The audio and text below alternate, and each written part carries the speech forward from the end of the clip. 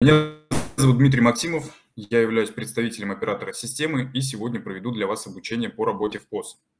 В рамках вебинара мы рассмотрим такие вопросы, как что такое ПОС, для чего система нужна, способы подачи сообщения заявителям и разбор функционала учетных записей. Итак, что такое ПОС? ПОС – это платформа обратной связи, которая является подсистемой ЕПГУ в рамках федерального проекта «Единого окна цифровой обратной связи». Основная цель платформы – это быстрое решение актуальных проблем граждан, то есть любой э, житель региона может направить сообщение о проблеме, с которой он столкнулся. Например, яма на дороге, не горит освещение на улице, снег зимой не чистит и так далее. Сообщения по уровню полномочий могут распределяться в федеральные органы исполнительной власти, в региональные органы исполнительной власти, в органы местного самоуправления, а также в организации, осуществляющие публично значимые функции. Существует три способа направить сообщение в ПОС. Виджет на сайте ведомства, портал госуслуг и мобильное приложение госуслуги решаем вместе. Давайте разберем каждый из них по отдельности. Первый способ – это виджет на сайте ведомства. На экране представлен сайт Министерства цифрового развития, а, где мы видим, что виджет – это прямоугольный баннер, который находится на главной странице в пределах первой прокрутки. Данный виджет располагается аналогично на сайтах РАИФ, АМСУ и организаций. На баннере находится функциональная кнопка «Написать», при нажатии на которую открывается единая стандартная форма для подачи сообщения, которая в свою очередь поделена на несколько блоков. Первый блок «Опишите ситуацию». В нем необходимо заявителю описать суть проблемы, с которой он столкнулся, при необходимости подгрузить файл, при наведении на знак вопроса можно ознакомиться с допустимыми форматами файлов. Файлов должно быть не более 10 штук, объемом до 10 мегабайт каждый. Далее, дополнительная информация. В нем необходимо указать регион подачи сообщения. Регион определяется автоматически, исходя из привязки к сайту. Если нужно поменять регион, то сделать это можно, нажав на функциональную кнопку «Нет другой», откроется выпадающий список, в котором можно выбрать нужный регион. Далее, классификатор. Классификатор а, в системе на сегодняшний день разработан трехуровневый. Это категория, подкатегория и факт. В данной форме представлен классификатор двухуровневый. Это категория и подкатегория. Необходимо выбрать категорию, допустим, это интернет-услуги, и подкатегорию, жалоба на качество услуг. Далее, необходимо указать адрес проблемы. Сделать это можно двумя способами. Первый – ввести адрес поля адрес вручную, либо нажать на кнопку «Показать карту» и а, путем установки маркера на карте установить конкретную точку геолокации. Под картой находится чекбокс сообщения от имени юридического лица и поле «Провайдер». Данный чекбокс и поле являются дополнительными, настраиваются на усмотрение ведомства самостоятельно. А, они необходимы для того, чтобы а, получить как можно больше вводной информации от заявителя в момент подачи сообщения.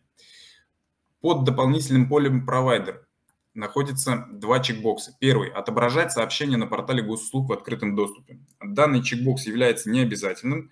Без его проставления заявитель может отправить сообщение, но если галочка установлена, то как а, сообщение заявителя, так и ответ на него со стороны ведомства будут доступны для просмотра всем желающим на тепловой карте. Тепловая карта э, реализована в мобильном приложении «Госуслуги решаем вместе». Второй чекбокс «Я соглашаюсь с правилами подачи сообщения» является обязательным. Без его проставления заявитель не сможет отправить сообщение в систему. Слово «правилами» является гиперссылкой, при нажатии на которой открывается дисклеймер котором содержится регламент обработки сообщения в системе. В данном дисклеймере заявитель может ознакомиться со сроками рассмотрения сообщения в системе. Это 30 э, календарных дней по стандартным сообщениям и 10 календарных дней по сообщениям э, с категориями, у которых есть признак фаст-трека. То есть данные сообщения будут рассматриваться э, в ускоренном порядке. Далее у заявителя есть возможность ознакомиться с причинами для отклонения сообщения. И в пункте номер 12 заявитель информируется о том, что э, сообщения, обрабатываемые в ПОС, не являются обращениями. То есть процесс обработки ответа не регулируется 59-м федеральным законом. Коллеги, это говорит о том, что нет необходимости по сообщениям в ПОС э, готовить ответ на официальном бланке с печатями, подписями и так далее.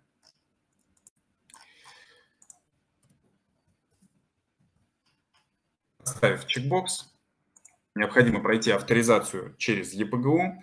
А, это необходимо для того, чтобы принимать сообщения от реальных граждан и отсеивать спам-сообщения. Далее сообщение направляется в систему и в момент отправки ему присваивается сквозной номер, с помощью которого данное сообщение можно будет найти в системе. Второй способ подачи сообщений в систему – это портал госуслуг. На данном портале находится универсальная форма для подачи сообщения о любой проблеме, с которой заявитель столкнулся. Эта форма решаем вместе.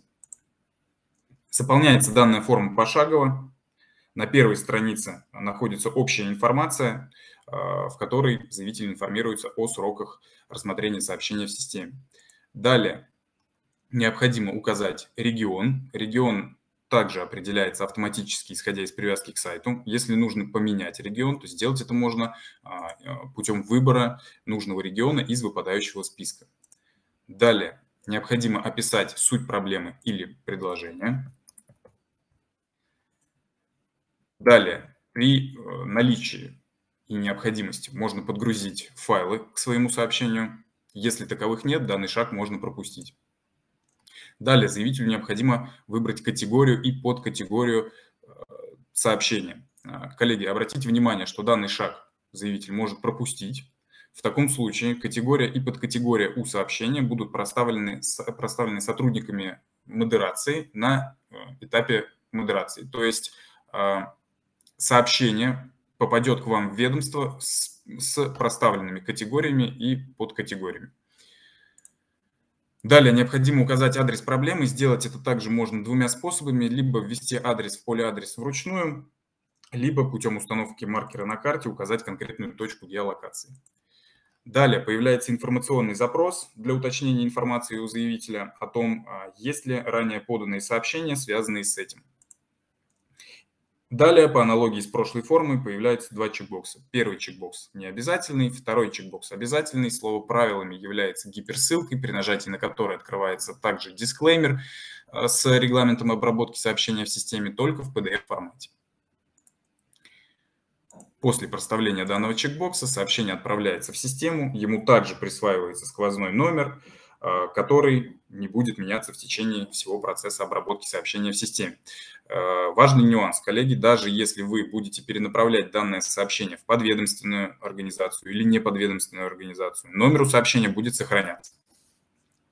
Также на портале госуслуг представлен ряд федеральных форм, э, которые также позволяют подавать сообщения в ПОС. Например, это формы, связанные с вакцинацией, запись в лист ожидания, или ежемесячная выплата на детей от 3 до 7 лет. Следующий способ подачи сообщения в систему – это мобильное приложение госуслуги «Решаем вместе». Доступно данное приложение как на iOS, так и на Android-платформах.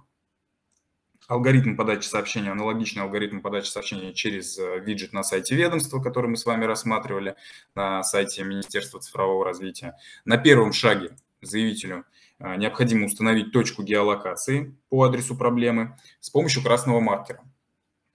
Далее нажать на кнопку «Сообщить о проблеме».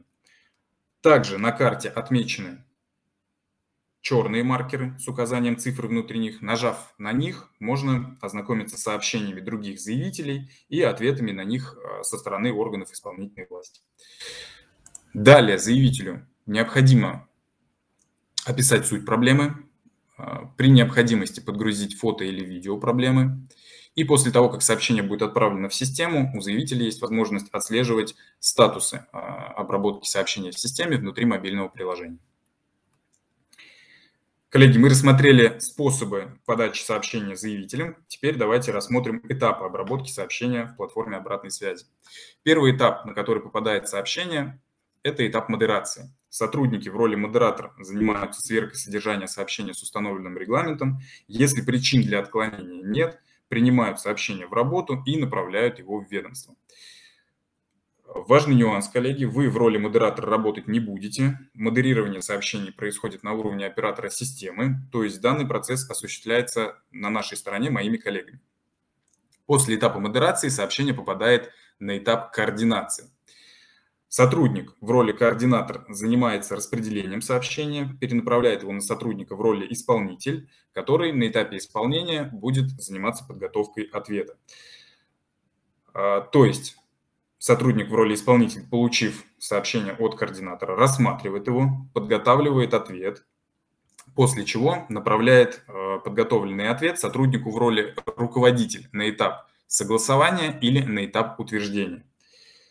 Здесь необходимо отметить, что этап согласования является необязательным. Он присутствует в ведомствах в том случае, если у ведомства каскадная структура управления, то есть есть отделы и департаменты. Если в ведомстве всего один сотрудник, то тогда этап согласования пропускается.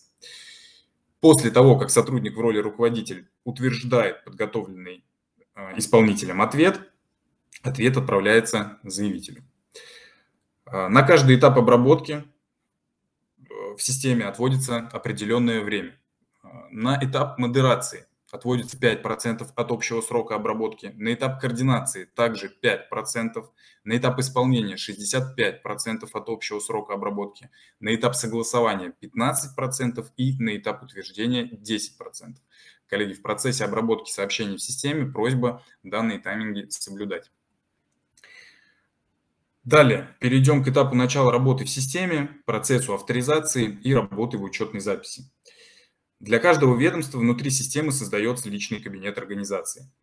Затем внутри личного кабинета организации создаются учетные записи для сотрудников, которые будут а, работать в системе. После создания учетных записей сотрудникам на личную почту направляется письмо с адреса no-reply которое содержит в себе ссылку для подтверждения регистрации. Перейдя по данной ссылке, необходимо привязать учетную запись, созданную в системе, э, к личной учетной записи на портале госуслуг. Для работы в системе понадобится только браузер, ничего дополнительно скачивать и устанавливать на свой компьютер не нужно. Браузер подойдет любой, за исключением Internet Explorer, э, так как работа в нем может вестись некорректно. Открываем браузер, в адресной строке вводим название ссылки post.госуслуги.ру slash backoffice. А, коллеги, по данной ссылке можно авторизоваться в системе под ролями координатор, исполнитель, руководитель и куратор. И далее оказываемся на странице авторизации в системе. Авторизация осуществляется с помощью ESE. Необходимо ввести логин и пароль от личной учетной записи на портале госуслуг. А, важный нюанс – необходимо, чтобы личная учетная запись а, сотрудника на госуслугах имела статус подтвержденный. Это обязательное условие для работы в системе ПОС. То есть подать сообщение а, заявитель может с любой учетной записью. Она может быть а, стандартная, упрощенная или также подтвержденная, но работать в системе может только сотрудник, у которого подтвержденная учетная запись на ЕПГУ. Далее, пройдя авторизацию, мы оказываемся в учетной записи платформы обратной связи. А, любая учетная запись, независимо от роли, состоит из четырех основных блоков. Первый блок находится в верхней части экрана и расположен на черной полосе. Это область управления учетной записью. В правом верхнем углу экрана находится название учетной записи, при нажатии на которое можно осуществить выход из системы. Левее находится название роли, под которой авторизован сотрудник в данный момент. Так как ролей у сотрудника может быть несколько, переключение между ними происходит путем нажатия на название роли, открывается выпадающий список, э, в котором необходимо выбрать роль э, следующую. То есть, э, коллеги, тоже важный нюанс, что, обратите внимание, переключение между ролями происходит в рамках одной учетной записи. То есть повторной авторизации для каждой роли не нужно. В центре области управления расположилось название ведомства, в котором работает сотрудник. Так как ведомств может быть несколько, переключение между ними может, э, осуществляется аналогично переключению между ролями путем названия, нажатия на название ведомства. Ниже расположились э, три оставшихся основных блока. А, начнем с левой части экрана, с типов сообщений. Типы сообщений бывают новые, подготовлен ответ, в работе, возвращены и так далее. Далее набор фильтров. С помощью фильтров можно отсортировать список сообщений по необходимому признаку. И в правой части экрана расположился список сообщений. Отображение списка сообщений зависит от выбранного типа сообщений. То есть если выбран тип сообщений новые, то отображаются только те сообщения, которые только что поступили в ведомство. Если выбран тип сообщений в работе, то отображаются те сообщения, которые находятся в работе. Возвращены, соответственно, те сообщения, которые были возвращены. Теперь разберем роли. Первая роль, в которой вам предстоит работать, коллеги, это роль координатора. Основная задача у координатора внутри ведомства – это перенаправлять сообщения на сотрудника с ролью исполнителя. Помимо этого, координатор может перенаправить сообщение в подведомственную, неподведомственную и вышестоящую организацию.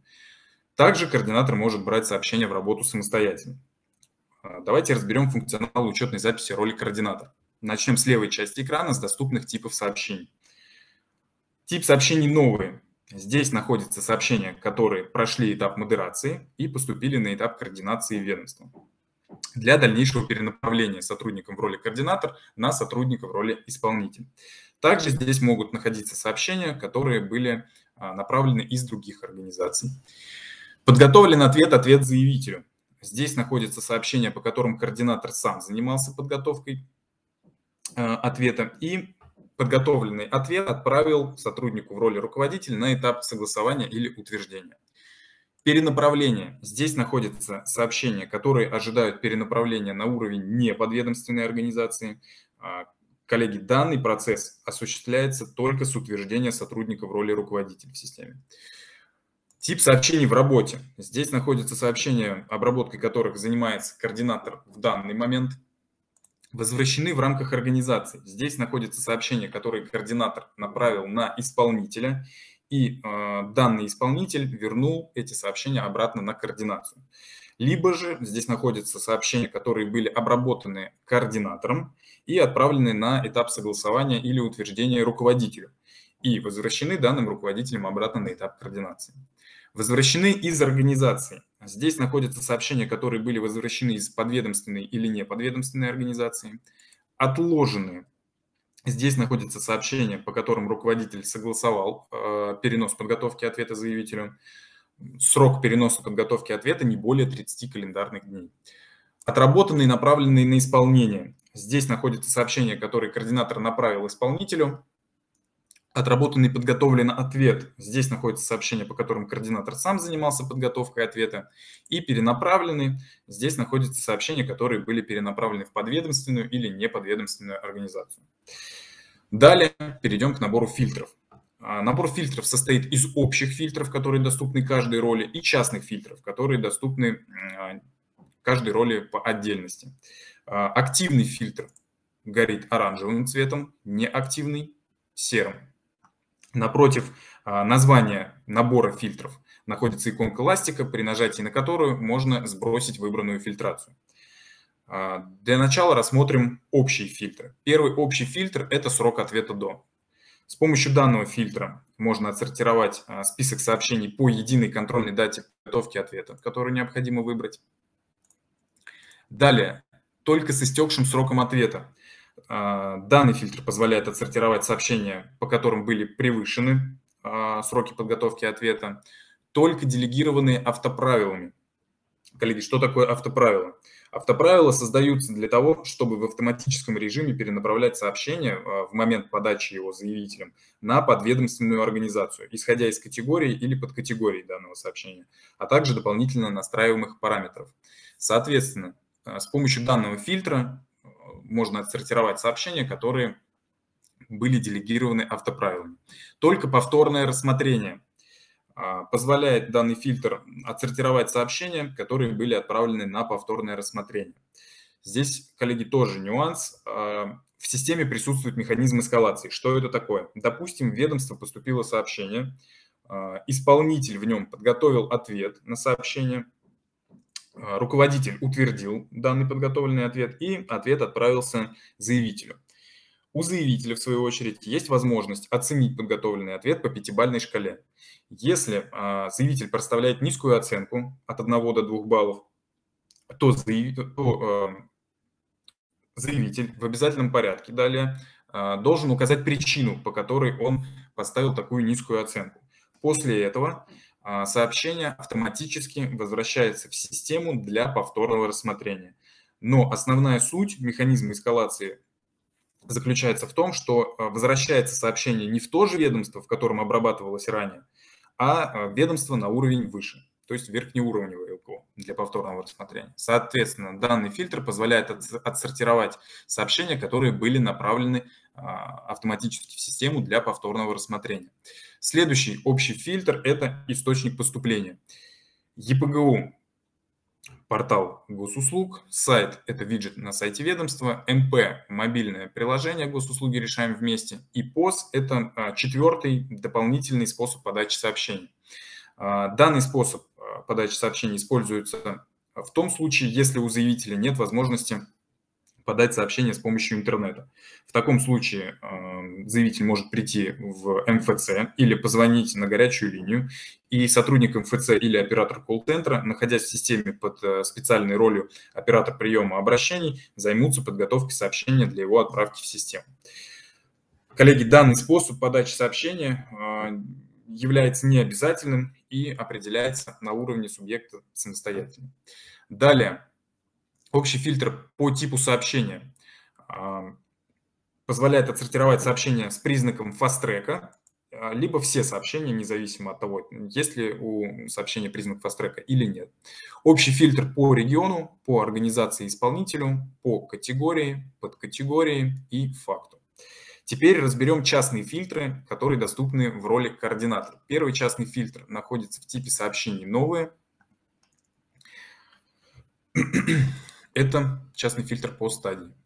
То есть после модерации из сет, из вышестоящей организации, из нижестоящей, из неподведомственной организации, либо это повторное рассмотрение.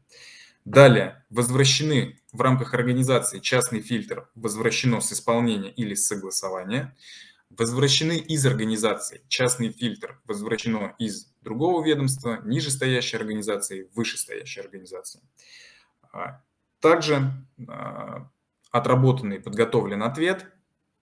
По типу ответа решено, не решено, отложено, отклонено и перенаправлены, перенаправлены в подведомственную, неподведомственную или вышестоящую организацию. Теперь разберем список сообщений. В верхней части данного блока находится область сортировки выбранного списка сообщений. Отсортировать а, список можно по дате сообщения, по сроку на стадию и по сроку на ответ. Выбрав необходимый параметр а, и нажав на кнопку «Обновить», а, данный параметр будет применен. При необходимости можно воспользоваться кнопкой «Поиск», то есть найти конкретное сообщение по его номеру из всего списка сообщений. В нижней части данного блока а, расположились варианты выгрузки сообщений на одну страницу, то есть 10 э, сообщений, 50 сообщений или 100 сообщений будет отображаться на одной странице. Теперь рассмотрим краткую информацию о сообщении. Первое – номер сообщения, далее категория, подкатегория, источник поступления сообщения в систему. Также здесь может отображаться наличие или отсутствие признаков фастрека у сообщения. Ниже текст сообщения, регион заявителя, организация исполнитель, адрес проблемы. Под всем вышеперечисленным находятся три параметра. Первый параметр – поступление сообщения в систему, то есть время и дата поступления сообщения. Второй параметр – общий срок подготовки ответа по сообщению, то есть до какого числа необходимо подготовить ответ по данному сообщению. И третий параметр – это время, отведенное на конкретный этап обработки сообщения в системе. Первые два параметра являются неизменяемыми, а третий параметр является изменяемым, так как а, на каждый этап обработки сообщения отведено конкретное время. Если а, время на подготовку ответа превышено, то данный параметр загорается красным цветом и имеет знак минус. Теперь рассмотрим карточку сообщений. Карточка сообщений состоит из двух основных блоков. В, правом, в правой части экрана находится область предпросмотра файлов, которая в свою очередь поделена на несколько разделов.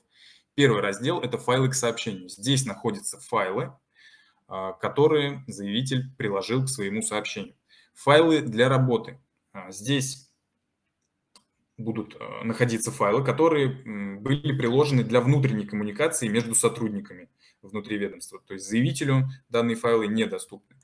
Файлы для ответа. Здесь находятся а, файлы, которые будут доступны заявителю. В левой части экрана находится информация о сообщении. Номер сообщения ниже. Общий срок подготовки сообщения в системе, до какого числа необходимо подготовить ответ – под общим сроком время, отведенное на конкретный этап обработки сообщения в системе, и под данными параметрами мы видим несколько блоков. Первый блок – информация о сообщении. Раскрывая его, первое, на что стоит обратить внимание, это поле регистрационный номер и дата регистрации. Коллеги, напомню, что платформа обратной связи предназначена для обработки сообщений, а не обращений – но если э, на уровне ведомства возникла необходимость все-таки переквалифицировать сообщение в обращение, то есть чтобы 59-й федеральный закон регулировал процесс обработки, то сделать это можно путем э, нажатия на иконку карандаша. Появляются два дополнительных поля, в которых необходимо указать регистрационный номер и дату регистрации. Затем необходимо нажать на кнопку «Сохранить» и сообщение будет переквалифицировано в обращение, и 59-й федеральный закон будет регулировать процесс обработки и подготовки ответа. А, но даже если сообщение было переквалифицировано в обращение, процесс обработки его в системе не меняется. Далее в данном блоке содержится информация о статусе сообщения, о категории, подкатегории и факте, организация исполнители, дата подачи, источник поступления сообщения в систему, наличие или отсутствие признаков астрека. Следующий блок – заявитель. В данном блоке находится вся информация о заявителе. В блоке текст сообщения содержится информация о тексте сообщения, регионе и адресе проблемы. Ниже блок «Приложенные файлы». В нем находятся э, файлы, которые заявитель приложил к своему сообщению. Ниже блок «Ход работ». А, здесь будут перечислены все этапы, которые сообщение будет проходить в процессе обработки в системе. А, ниже функциональная кнопка «Экспорт в PDF». А, при нажатии на нее можно скачать либо просто информацию о сообщении, либо архив с файлами, то есть в котором будет содержаться и информация сообщения, и файлы, которые приложил заявитель к своему сообщению. Коллеги, теперь рассмотрим функциональные кнопки, которые присутствуют в роли координатора в карточке сообщения. Первая функциональная кнопка находится в блоке «Информация о сообщении». Это функциональная кнопка «Редактировать». При нажатии на нее у координатора есть возможность изменить категорию, подкатегорию и факт у сообщения. Следующая функциональная кнопка «Назначить исполнителя». При нажатии на нее открывается одноименная форма, в которой у координатора также есть возможность поменять категорию под категорию и факту сообщения. При необходимости оставить комментарий или подгрузить файл для внутренней коммуникации. И далее необходимо из выпадающего списка выбрать сотрудника в роли исполнитель, а, на которого координатор будет перенаправлять данное сообщение. Коллеги, прошу обратить внимание, что напротив фамилии, имя, отчества сотрудника в роли исполнитель находится а, цифра в скобках. Данная цифра говорит о том, сколько сообщений находится в работе в данный момент у этого исполнителя. То есть вот обратите внимание, что у некоторых меняется данный показатель. После того, как сотрудник будет выбран, необходимо нажать на кнопку «Отправить», и сообщение будет перенаправлено выбранному исполнителю. Следующая функциональная кнопка «Назначить ответственную организацию». При нажатии на нее открывается одноименная форма, при заполнении которой координатор может перенаправить сообщение на уровень подведомственной организации. Аналогично предыдущим формам, аналогично предыдущим формам координатор а, имеет возможность а, поменять категорию под категорию факту сообщения, а, оставить комментарий или подгрузить файл для внутренней коммуникации, выбрать подведомственную организацию и в нижней части данной формы находится чекбокс без права подписи. А, если данный чекбокс выключен, а по умолчанию он а, всегда выключен, то сообщение будет перенаправлено в подведомственную организацию, там будет подготовлен ответ, утвержден руководителем и отправлен данный ответ заявителю. Если чекбокс включен, то э, сообщение также будет направлено в подвед, там ответ будет сформирован, утвержден руководителем подведа, но подготовленный ответ не отправляется заявителю, а возвращается обратно в верхнеуровневый ЛКО. И здесь есть два варианта. Вернется данный подготовленный ответ руководителю. Это необходимо тогда, когда руководителю верхнеуровневого ЛКО необходимо проверить подготовленный подведом ответ. А, для этого необходимо выбрать а, сотрудников в роли руководителя либо на этап согласования, либо на этап утверждения. Этап утверждения является обязательным, и один и тот же сотрудник не может быть выбран и на этап согласования, и на этап утверждения. Либо же подготовленный под ведом ответ вернется обратно в верхнеуровневый, верхнеуровневый ЛКО, но координатору. Это необходимо в том случае, если а, к подготовке ответа необходимо подключить несколько подведомственных организаций. То есть, чтобы каждая а, подведомственная организация готовила свою часть ответа. После этого, нажав на кнопку «Отправить», сообщение будет перенаправлено в подведомственную организацию. Следующая функциональная кнопка «Перенаправить».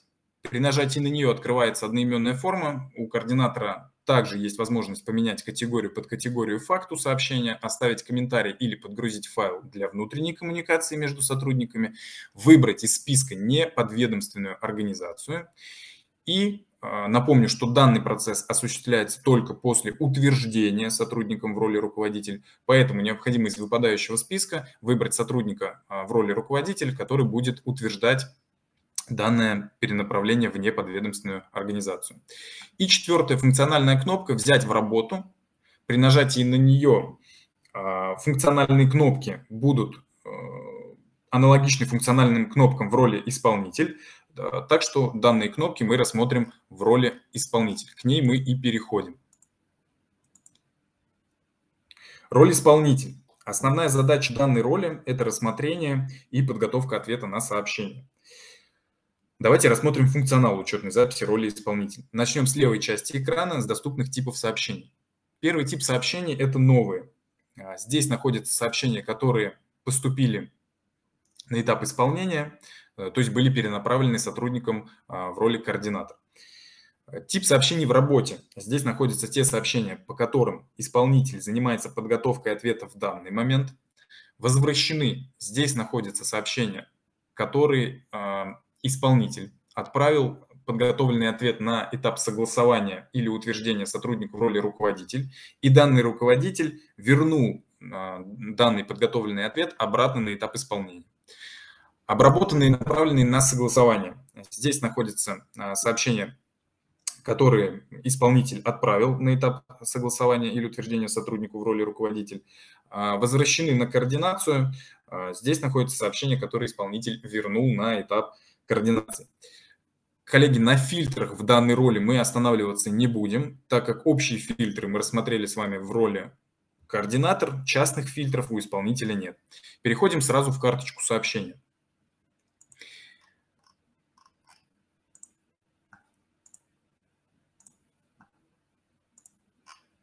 Разберем функциональные кнопки которые находятся в роли исполнитель в карточке сообщения. Первая функциональная кнопка «Вернуть на координацию». При нажатии на нее открывается одноименная форма, в которой исполнителю необходимо указать причину возврата, подгрузить при необходимости файл для внутренней коммуникации и, нажав на кнопку «Отправить», сообщение будет возвращено на координацию.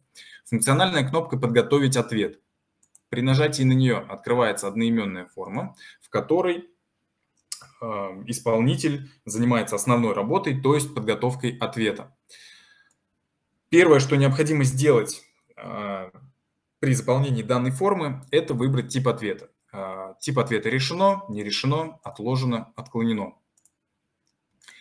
Далее, исходя из выбранного типа ответа, необходимо в поле текст ответа, которое является обязательным для заполнения, сформировать ответ. Текст ответа есть возможность редактировать.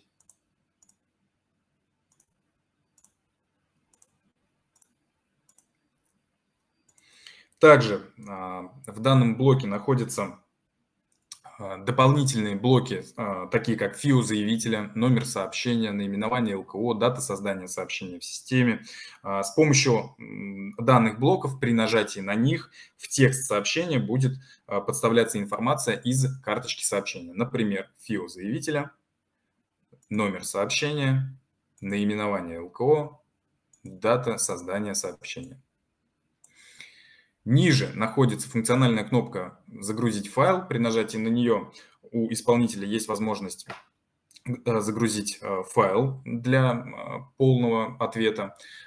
Под данной кнопкой находится должность и фамилия, имя, отчество сотрудника, который занимался подготовкой ответа. Заявителю данная информация недоступна, то есть подготовленный ответ заявителю приходит от ведомства в целом. Ниже при необходимости можно оставить комментарий или подгрузить файл для внутренней коммуникации. И затем необходимо выбрать а, сотрудника в роли руководитель либо на этап согласования из выпадающего списка, либо на этап утверждения. Этап утверждения является обязательным, один и тот же сотрудник не может быть выбран и на этап согласования, и на этап утверждения. При выборе а, типа ответа «отклонено» необходимо указать причину отклонения. А, сделать это можно путем выбора причины из выпадающего списка. Далее, функциональная кнопка «Переназначить исполнителя». При, нажать, при нажатии на нее открывается одноименная форма, в которой э, необходимо из выпадающего списка выбрать сотрудника в роли исполнитель, которому будет переназначено данное сообщение, при необходимости оставить комментарий или подгрузить файл для внутренней коммуникации. Коллеги, это все, что касается роли исполнитель. Переходим к роли руководитель. Основная задача у роли руководитель – это согласование и утверждение подготовленных ответов. Также а, у руководителя возможность согласования и утверждения перенаправления сообщения на уровень неподведомственной организации. И э, также руководитель может просматривать э, отчеты и статистику по э, обработке сообщений в его ЛКО. Но к данному блоку мы вернемся в роли куратор, так как функционал у них полностью дублируется. Рассмотрим функционал учетной записи роли руководитель. Э, в левой части экрана доступны типы сообщений, подготовленные ответы из организации. Здесь находятся сообщения, по которым необходимо утвердить подготовленный э, исполнителем или координатором ответ – а, на перенаправление. Здесь находятся сообщения, по которым необходимо утвердить перенаправление сообщения на уровень неподведомственной организации, обработанные, отправленные заявителю. Здесь находятся сообщения, ответы, а, по которым руководитель утвердил, и они были направлены заявителю. Перенаправленные. Здесь находятся сообщения, которые были перенаправлены в подведомственную или неподведомственную организацию. Отклоненные, здесь находятся сообщения, которые руководитель вернул на этап исполнения или этап координации для доработки. А, набор фильтров, общие фильтры мы с вами рассматривали, частные фильтры, которые а, доступны в роли руководителя, давайте рассмотрим. Первый а, частный фильтр – подготовлен ответ из организации – это фильтр действия, то есть это на утверждение или на согласование поступило сообщение, и тип ответа у сообщения. Решено, не решено, отложено, отклонено. Далее, а, отработанные, отправленные заявителю, частный фильтр по оценке. То есть можно отсортировать список сообщений по оценке, которую проставил заявитель на подготовленный ответ. Теперь переходим в карточку сообщения в роли руководителя. Обращаю ваше внимание, коллеги, что а, в информации по сообщению добавилось два дополнительных блока. Первый блок – это ответ заявителю. А, в данном блоке содержится вся информация о сообщении, о подготовленном ответе по данному сообщению. И второй а, блок – это маршрут согласования. В данном блоке содержится информация о том, был ли ранее подготовленный ответ согласован другим сотрудником в роли руководитель, или же сообщение сразу поступило на этап утверждения. Ниже ход работ. Коллеги, а, здесь продемонстрирую вам отображение всех этапов, а, которое проходило сообщение в процессе обработки внутри системы. И теперь рассмотрим функциональные кнопки, которые присутствуют в роли руководителя. Первая функциональная кнопка – это кнопка «Отклонить». При нажатии на нее открывается одноименная форма, в которой необходимо в обязательном для заполнения текстовом поле описать причину отказа.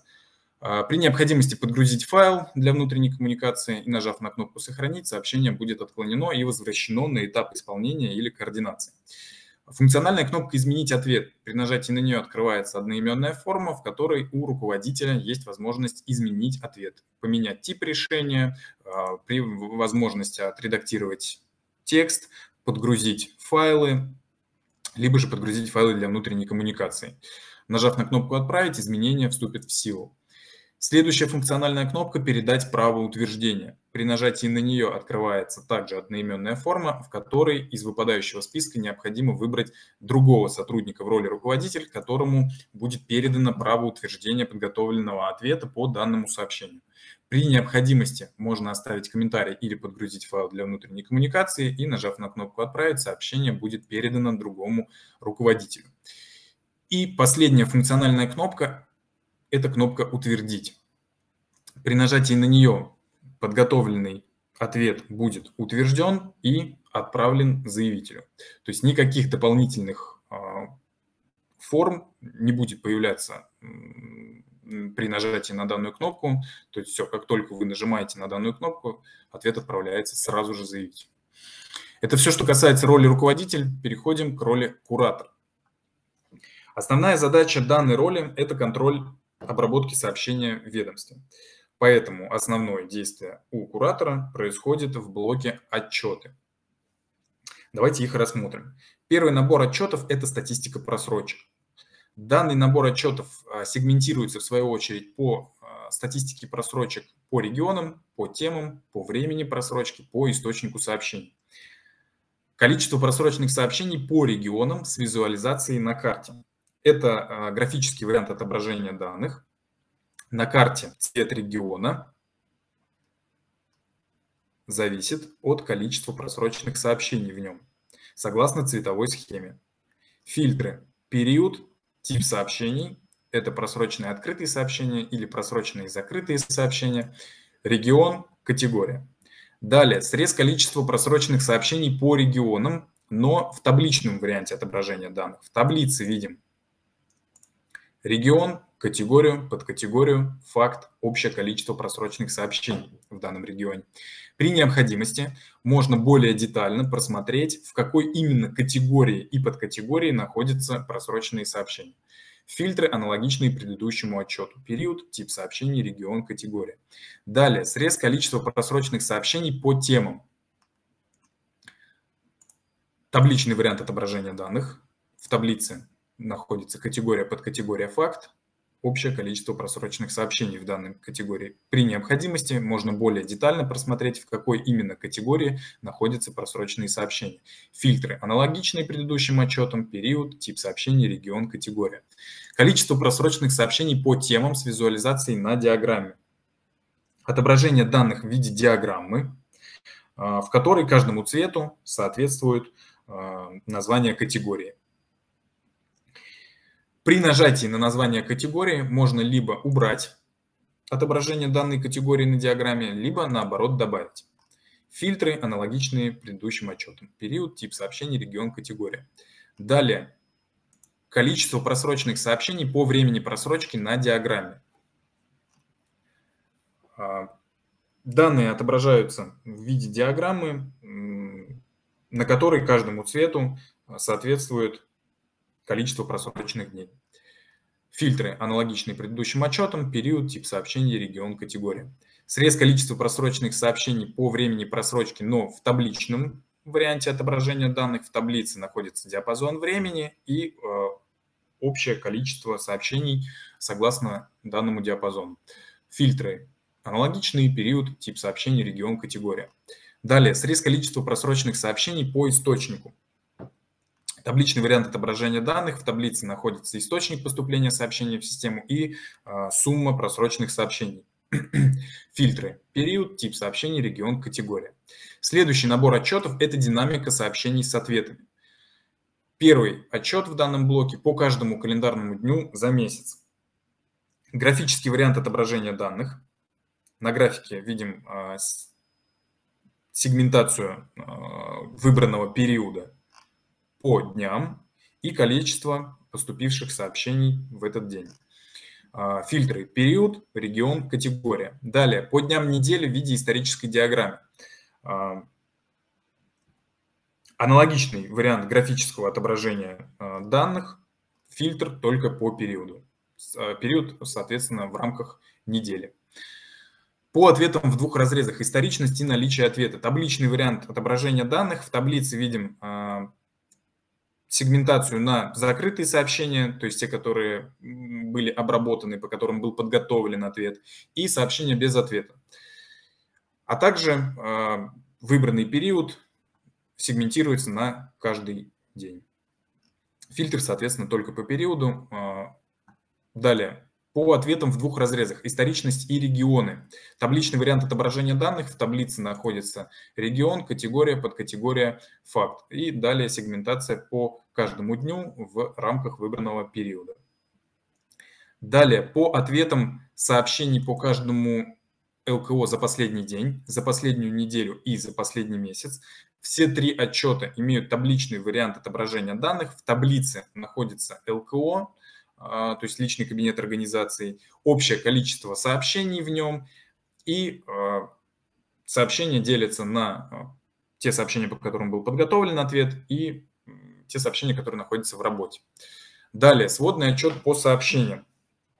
Данный отчет является наиболее удобным, так как его можно формировать самостоятельно с помощью показателей, которые находятся в блоке «Все поля». Чтобы сформировать отчет, необходимо выбрать э, нужный показатель, зажать его правой кнопкой мыши, например, э, мне необходим показатель «Источник», и перетащить его в блок «Строки». Далее в блоке «Колонки» необходимо поместить категорию сообщения. Для этого правой кнопкой мыши аналогично зажимаем данный показатель и перетаскиваем его в блок колонки. После этого необходимо нажать на функциональную кнопку «Получить данные» и таблица будет сформирована. То есть здесь у нас источник поступления сообщения в систему, здесь а, все категории, которые доступны в данном личном кабинете организации. При необходимости можно выбрать а, какой-то конкретный источник поступления сообщения в систему. Для этого необходимо а, нажать на стрелку и открыть выпадающий список. Аналогично с категорией сообщения можно выбрать какую-либо конкретную категорию. Функциональные кнопки. Функциональная кнопка «Экспорт». При нажатии на нее а, данные данный отчет будет скачан в Excel формате на компьютер.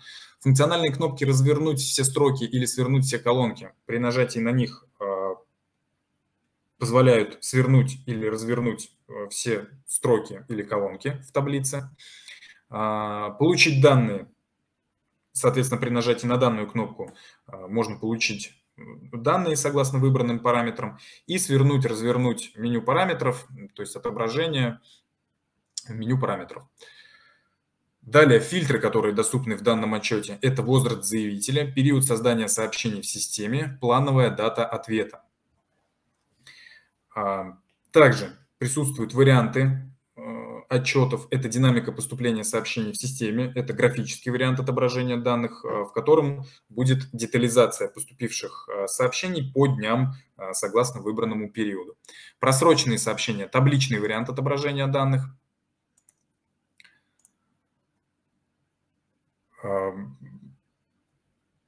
при необходимости можно нажать на а, числовой показатель и а, просмотреть информацию о сообщениях более детально. А, либо это будет список сообщений, либо можно открыть конкретную карточку информации внутри данного окна. Далее, отобразить медиану удовлетворенности. Табличный вариант отображения данных. А, в таблице будут отображаться проставленные заявителем оценки.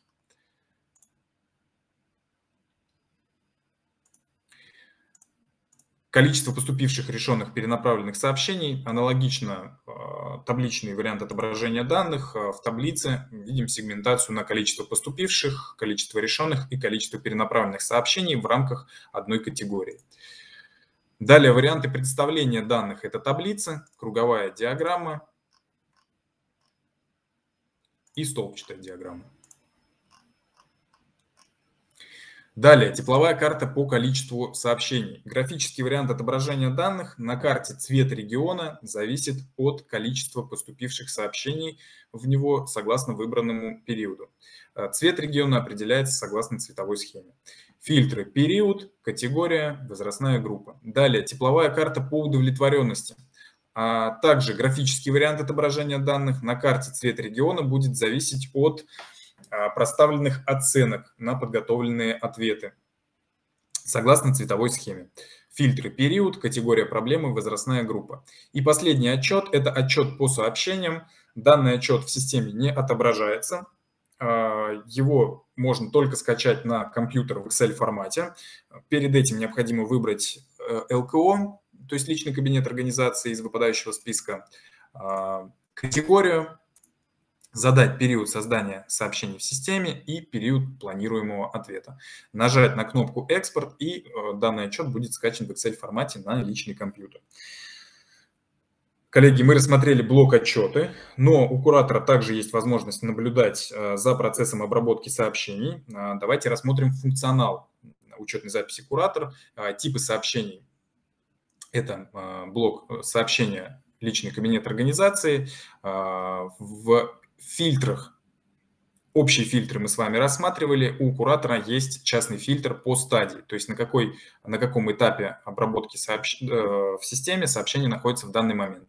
Это этап модерации, этап координации, исполнения, согласования, утверждения или это этап, который э, говорит о том, что сообщение было отправлено заявителю.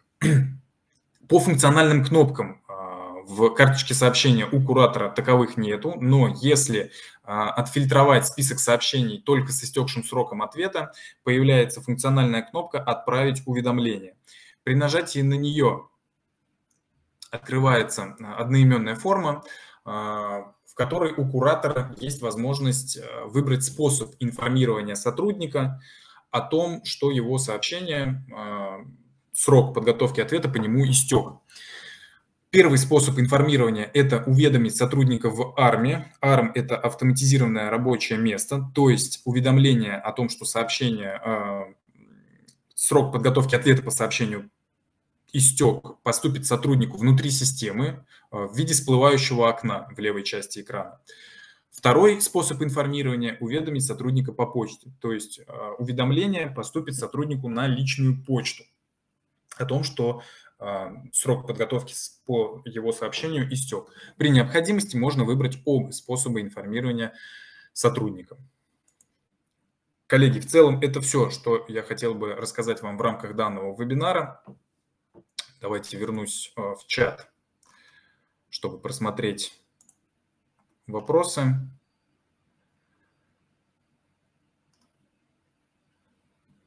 Коллеги, как уже и говорил, что а, Платформа обратной связи предназначена для обработки сообщений, а не обращений. То есть э, данный процесс обработки э, в системе у сообщений не регулируется 59-м федеральным законом. Но если э, есть необходимость переквалифицировать все-таки сообщение в обращение, то сделать это можно в роли координатора. И в таком случае данное обращение будет регулироваться 59-м федеральным законом. Коллеги, на этом я с вами прощаюсь. Э, всем хорошего дня.